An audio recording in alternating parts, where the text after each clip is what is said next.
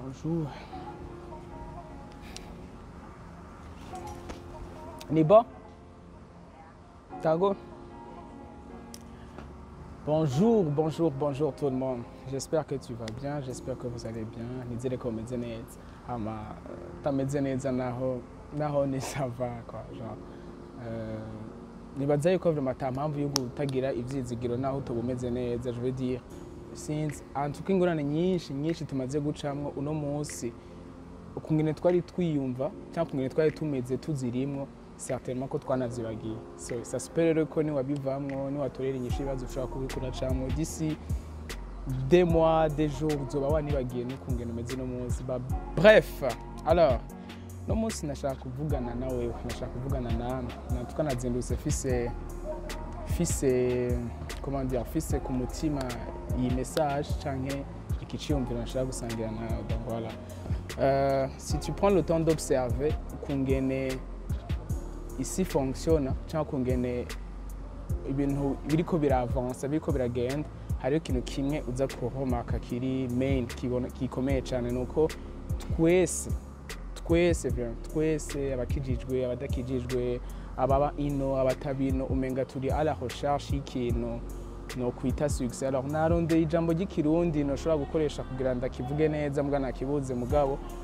Mu cyongereza it's like we are craving for greatness. Turiko turarondera turiko tura turifuza gushikira iki- iki- ikintu no kwita la grandeur ikintu genre kinini. Nimba ni muri domaine dufate y'umuririmbyi umuntu aviza kuba the best urabibona muri domaine y'umuntu akora amavideo cyangwa akora ibi na biriya ari muri football n'umupasiteri kenshi umenga hari ikintu ca i want to be the best. Ndashaka the greatness muri iki kintu. Ndashaka kuba great muri iyi domaine. Mugabo ndiko ndamedita rero kare niyo nace niyumvira iki kintu hamace ndabona ko kameme ari ikintu kiri huge. Ni uko la définition ya grandeur cyangwa la définition ya succès cyangwa la définition y'icyo kintu tuvuga ngo ni it's, it's, ryo muntu ari great ihagaze ku bintu biri bibiri biri me. Icya mbere ni ikintu nokwita ama donc ama possession ibintu bashobora kuronka.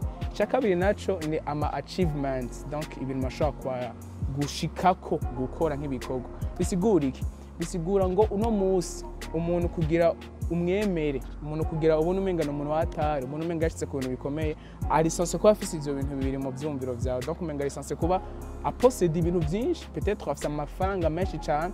Remarque yuko n'abantu bafise amafaranga menshi cane mugabo dizo batakoze ikintu kiri ki- ciza canke ikintu kiri euh, ikintu kiri beneficia pour la société ataco bigeze bakora umenga nabone turabaminiya style hamica kabiri naco nama achievements muri sense yaho umuntu wese yashoboye gushika ku kintu twese turamwemera. Donc bisigura uno munsi ubonye benzema atwaye ballon d'or uravuga nti wow quand même amashimwe ashikuriwe. Uno munsi ubonye igituma twibuka ba Nelson Mandela igituma twibuka ba Rwagasore n'abandi ntitwari tuzi ivy'amafaranga twari tuzi ngo bari abantu babaguze atunga sana just twari tuzi yuko bari abantu bashoboye gushika ku bintu biri important. Mugabo message yanje ntiyari ihagaze ngaho ndiko ndamedita wamenga ndiko nja ahantu no observe canke mbona ukungene twese turi à la recherche somehow y'ivyo bintu bibiri kugira dushikire ya greatness ya success. Turi à la recherche yo guposeda ibintu ushobora kuronka ibintu bitandukanye canke nawe gushobora kuachivinga ibintu mavizo yacu hari umuntu avuga ati ah naje ndashaka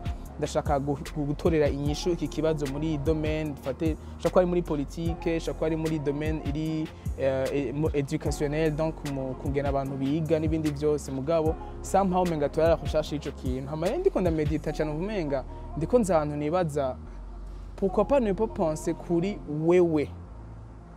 Pourquoi pas ne pas penser gu au lieu yo kurondera kwiga muri iyo domaine yawe est très important nimba waramaze kwimenya ukamenya ahantu by'ukuri ushaka gukorera ikintu wumva yuko ça te passionne tellement yuko ushaka ku- kukibamwo ubuzima bwawe bwose fo franchement kurondera fo kwiga à ça. Mugabo ikindi kintu ashaka gukora ko cette fois-ci c'est le toi c'est wewe w'ukuri wewe wa vrai sivyo igihe iminsi yose na- i- ikintu maze gomaka igihe cyose uriko urakorera kuri wewe igihe cyose uriko uriga uriko ura- uradevelopa kituwe uriko urameliora ibintu bitandukanye mugabo fois-ci bidatusha kuri l'extérieur yo hanze ariho ayo ma possession cyangwa ama achievement ushobora kuronka. Mugabo bitusha kuri l'être la personne wewe uri.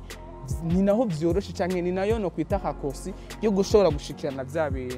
Presama navuganye n'umugenzi ashambwira ikintu kirankora ko canambwira ngo afetse ngo izo ndoto ufise cyangwa ibyo bintu wifuza gushikako ibyo bintu ubona umenga ni binini si wewe uzobishikako but ni iyindi version iri ameliore ya wewe azobishikako donc c'est intelligent cyangwa c'est bien yo kurondera amamoyen yose ashoboka kwiga gu, tu vois genre ku- ku- by'ukuri kumva ko uticaye kugira ngo ushike ku ndoto zawe. Mugabo en même temps faut pas kwinyora ico wewe uriko urahinduka. Faut pas kwinyora ico wewe uri ico wewe uri censé kuba muri ivyo bintu. Kubera ko vyoba bibabaje kushika ku ndoto zawe mugabo wumva umenga nturi heureuse canke heureux mu buzima wumva umenga. Ya ndafise amafaranga but menga ntacyo bimaze tu vois. Kandi hari abantu benshi bamaze kubashikira.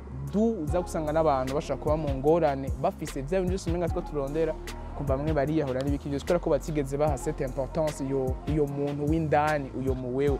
Alors en gros c'était quoi le message? Cyangwa c'était quoi? Ikintu nashaka kuvuga ikintu nashaka kuvuga ni uko c'est important kwiyumvira ku ndoto zawe c'est important kwiyumvira kuri ni igiki nshaka ni nihe nshaka kuja hama c'est important di travailler dessus donc bisigura iyo ubyutse mu gatondo ibintu byose guha umwanya wawe guha energie zawe biri sense by'ukuri kuba bifatanye na, na, na, na vision canke na rêve zawe.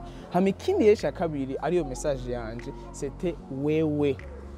Euh, donc sinzi ko muko murabitahura mugabo la personne qui fait ça est-ce que uraryohewe uriko urabikora est-ce que le caractère yawe iriko ira- irahinduka par rapport à ça? Donc est-ce que uraba the best. Apana ivyo ura- ivyo uriko urakora ngo ube the best. Apana ko ivyo uriko urakora umenga ubikompare n'ivyo abandi bakoze amuvuge ati ya quand même là ça va bien. Mugabo muri sens yaho jewe na caractère yanje turiko turakura. Tu vois? Donc aho nari ndi hier question kwihangana question uh, kugira neza question ku, kuba umuntu afise compassion n'ibindi bintu vyiza bifatanye na caractère biriko birevoluwa ico nshaka kuvuga ni igiki abantu benshi benshi ngira mpereze ngaha abantu benshi benshi benshi cyane baratakaye mu nzira donc baritakaje mu nzira bariko baposuiva indoto zabo.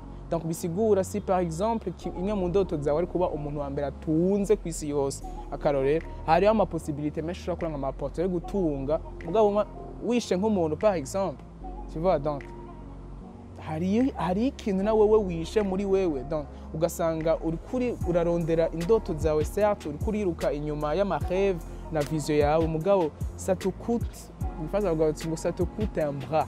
Tu vois genre donc ça te coûte beaucoup kandi biriko bikuta la, vraie personne. Ugasanga ushitseyo u- wapfuye. Ku bantu bakijijwe basoma bibiliya hariho verse ivuga ngo ngo bimaze iki ku- kuganya tu si euh, mu utakaje ubuzima bwawe si mu utakaje la vraie personne ni wewe tu vois donc. Dieu n'est pas intéressé par tes rêves dans le sens yaho umenga imana yashaka ibi bintu nk'uko uriko uravyibaza imana iri intéressé na wewe. Ikintu ca mbere kiyikora ko se comment tu te sens? Est-ce que tu es heureuse? Est-ce que uraryohewe ego uri mu kazi ça ça va ok. None uraryohewe uriko uriyumvira kugenda hanze kugira ibi na biriya nzojangira gutyo mugabo iyo muntu ufise kumutravaya kuri sanse gutravaya kuri caractère yawe ku ku bintu byinshi bifatanye na ton na qui tu es comme, euh, comme personne. Voilà.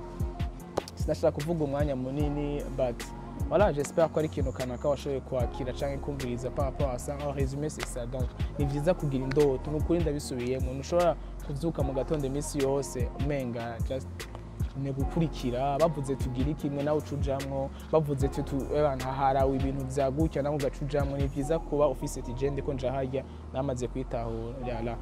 But hejuru y'ivyo rero ugaca wongerako ikindi kintu c'uko uri sonse gukorera kuri ton caractère usize gukorera kuri wewe w'ukuri. Donc bisigura ukagenda wiyumvira wiga ku bintu bitandukanye bikuzana ku development confidence yawe bikuzana ku developa uh, la vraie personne quoi. La, la, la vraie personne. Voilà.